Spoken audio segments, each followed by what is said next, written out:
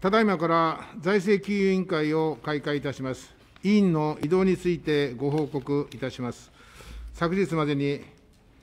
えー森友真治君、竹内勲君および三木徹君が委員を辞任され、その補欠として末松信介君、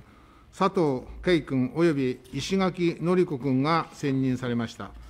政府参考人の出席要求に関する件についてお諮りいたします。